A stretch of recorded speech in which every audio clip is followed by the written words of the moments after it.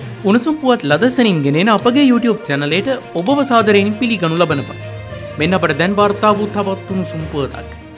කොළඹ නගරේ ස්ථාන කීපයක් අධ්‍යාරක්ෂිත කලාප වශයෙන් නම් කරමින් ජනාධිපතිවරයා විසින් නිකුත් කර ඇති ගැසට් නිවේදනයක් බල රහිත කරන්නයි ඉල්ලා ෆිල්ඩ් මාර්ෂල් සරත් ෆොන්සේකා සහ නීතිඥ දසුන් සමර වික්‍රම යන අය විසින් ශේෂ්ඨාධිකරණය හමුවේ මූලික අයිතිවාසිකම් පෙත් සමක් ගනු කර තිබේ.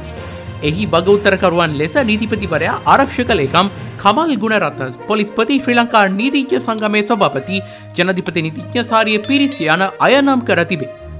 රාජ්‍ය රහස් පනතේ යටතේ එම ගැසට නිවේදන නිකුත් කර ඇති බව පෙන්වා දෙන පෙත්සම්කරුවන් වැඩිදුරටත් කියා සිටින්නේ එම පෙත්සම එම පනත යටතේ එවැනි නියෝගයක් නිකුත් කිරීමට ජනාධිපතිවරයාට බලයක් නොමැති බවයි.